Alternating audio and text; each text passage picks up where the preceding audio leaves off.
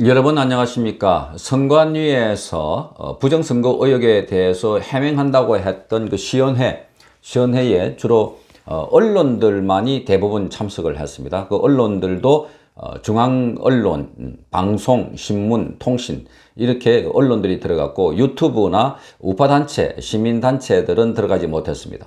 기자증을 제시를 해 들어갔고 그 일반 유튜버들은 어, 못 들어가겠고 변호사들도 심지어 이 소송을 대리하고 있는 변호사들도 못 들어가겠고 컴퓨터 전문가들도 못 들어가게 했습니다. 그래서 어, 이 내용을 어, 아주 깨뚫고 있는 기자가 아니라면 또 컴퓨터와 통계 뭐 선거 업무 전반에 관해서 특히 이 사안에 대해서 이번 선거가 부정선거였다는 그런 내용들을 정확하게 숙지하고 들어간 기자가 아니라면 그 제대로 된 질문을 할 수가 없는 그런 상황이었습니다. 일방적으로 선관위가 그동안 의혹을 제기했던 부분에 대해서 아니다, 아니다, 아니다, 틀렸다, 틀렸다, 틀렸다 하는 식으로 어, 순서가 진행됐던 것입니다.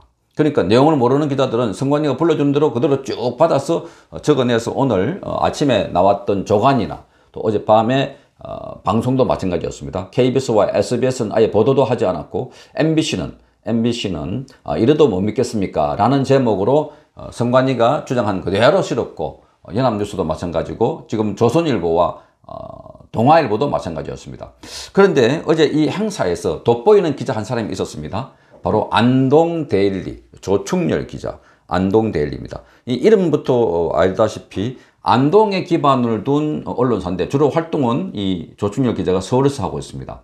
이 안동데일리의 조충렬 기자가 어, 선관위에서 이 QR코드가 뭐, 어, 바코드도 쓸 수도 있고 QR코드도 쓸 수 있는데 이 QR코드에 대해서 국회에서 뭐 법적으로 빨리 좀 정리해달라 이런 식으로 이야기하니까 이 조충렬 기자가 그동안 쭉 선관위가 설명한 내용에 불성실을 하고 또 내용을 어 그냥 건성건성 넘어가니까 아니 이런 모든 내용들을 왜 국회에 다 뜨는 게냐 하는 식으로 지금 반발했던 그 내용이 있는데 그 내용부터 부정선거에 대해서 따지는 내용을 여러분께서 잠깐 보여드리고 다시 이야기를 나누도록 하겠습니다.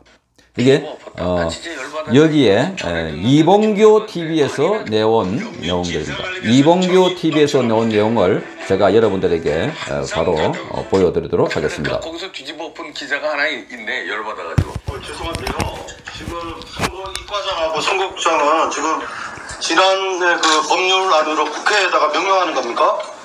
국회를 선관위가 들어야 되는 거 아니에요? 권리위라고 있습니까 법위에? 그리고요 사전투표 지가 조작됐는 것을 알고 있지 않습니까? 저는 알고 있어요. 네? 얘기해 보세요. 사전투표지가 조작되었는지 안 되어 있는지 저는 알고 있는데 거기에 대해서 답변을 선거국장님 웃으시지 마시고요. 알고 계신 부분에 대해서 저 얘기할까요? 예, 예. 공직선거 절차 사무편람이라고 있습니다. 어, 혹시 아십니까? 여기에 대해서 누가 답변하시나요? 말씀을 하시 아니, 말 답변하세요. 지금 선생님들이 지금 국민을 알기를 진짜 지금 이런 식으로 그러니까 아까 뭐라, 뭐라고 했습니까? 뭐 국민이 우리를 믿지 못하면 이렇게 믿지 못하게 하지 않습니까? 제가 말씀드리겠습니다.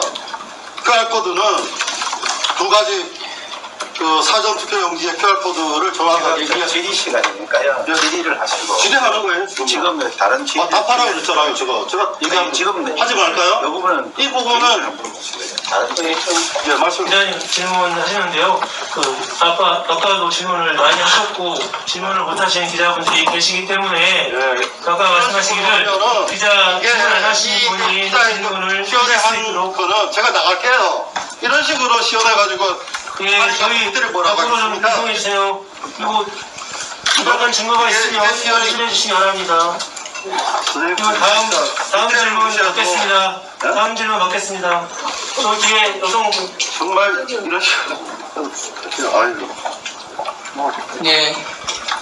국민 알기를 진짜 어떻게 하는데요? 자 여러분 그 조충렬 기자가 이렇게 하고 났는데 결국 나왔습니다 어, 국민 알기를 뭘 알고 있느냐 그렇게 보면 여기 선관위에서 까다로운 질문을 하면 혼자서 질문을 많이 하지 마라. 다음 기자 질문 받겠다. 이런 식으로 나서고 있고. 그러니까 어, 부정선거가 있지 않았느냐. 사전투표에서 부정행위가 있지 않았느냐. 이야기를 하면 대답을 못합니다. 대답을. 그리고 어, 옆에 다른 직원이 와서 어, 지금 그만하시고 다른 사람들이 질문할 수 있도록 합시다. 이런 식으로 어, 다른 사람들에게 기자, 다른 기자들에게 질문하라 그러면 기자들이 그냥 어, 이미 제기됐던 의혹 가운데 QR 코드가 쓸 수 있습니까 없습니까 이런 식입니다. 그리고 뭐 쓸 수 있다 이러면 그냥 넘어가 버립니다. 그런데 이 조충렬 기자는 어, QR 코드를 쓸 수 있나? 그 법적으로 어, 불가능한 거 아닌가? 이러니까 이 사람들 거꾸로 국회에서 법을 정리해달라 이렇게 이야기합니다. 그러니까 QR 코드를 쓸 수 있도록 국회에서 명확하게 얘기해달라. 그러니까 조충렬 기자가 그건 말이 되는 소리냐? 왜 선관위가 국회 위에 군림하는 거냐? 그리고 어, 사전 선거에 부정행위가 있지 않았느냐 라고 이야기를 하니까 그저 나와가지고 기자를 제지하고 다른 사람 질문하라 이런 식으로 합니다.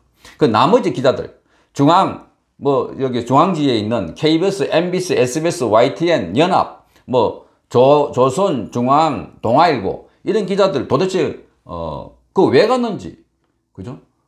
제대로 물어야 될 거 아닙니까? 기자가 현장에 가기 전에는 반드시 거기에 물을 것들을 미리 공부해 가야 합니다. 그 부정선거 의혹에 나왔던 거 관한 이 동영상을 몇 개 보고 난 뒤에 아 여기 핵심이구나 아니면 전문가에게 미리 이, 자문을 구해서 이 오늘 이 기자회견 또는 시연을 한다고 하는데 핵심은 뭡니까? 묻고 가서 거기에서 멘트비 보일 때는 바로 캐묻고 이게 바로 그 부정선거의 핵심이 아닙니까? 라고 어, 따져야 되는 겁니다. 그걸 바로 하고 있는 것이 조충렬 기자였고 나머지는 그 허수아비처럼 그냥 버 앉아가지고 있는 겁니다. 그래갖고 일방적으로 어, 짜진 각본대로 막 설명해 주니까 그걸 받아가지고 보도한 것들이 지금 나오고 있는 것 오늘 아침에 제가 어, 보도 드렸습니다. 바로 이런 제목입니다. 이래도 못 믿겠습니까? 이래도 못 믿겠습니까? 선관위 부정선거 시연 반박선거. 그 요렇게 요렇게 에, 선관위가 시키는 대로 어, 마치 문재인이가 시키는 대로 지시하는 대로 어, 보도해가지고 어, 알리는 그런 나팔수 같은 역할을 하는 것이 오늘날 한국의 언론이다. 언론은 그 핵심 맥을 짚어가지고 오늘 시원해 한다고 하면 이미 예고되어 있는 것이기 때문에 여기서 뭐가 핵심일까? 공부해가지고 스타트 해가지고 그래서 그 질문을 날카롭게 해야 되는데 가만히 듣고 있다가 그 중에, 어, 그 중에 안동에 기반을 둔 안동데일리의 조충렬 기자가 여기 주로 서울서 많이 활동을 하는데 가서 그렇게 해서 딱 캐물으니까 바로 이렇게 어, 배제를 하는 이게 오늘 한국의 언론 상황입니다. 그러니까 우리 국민들이 모를 수밖에요. 속을 수밖에요. 선동될 수밖에 없지 않는 구도가 아니겠습니까? 정말 대한민국은 지금 언론이 예, 큰일입니다. 성창경 TV였습니다.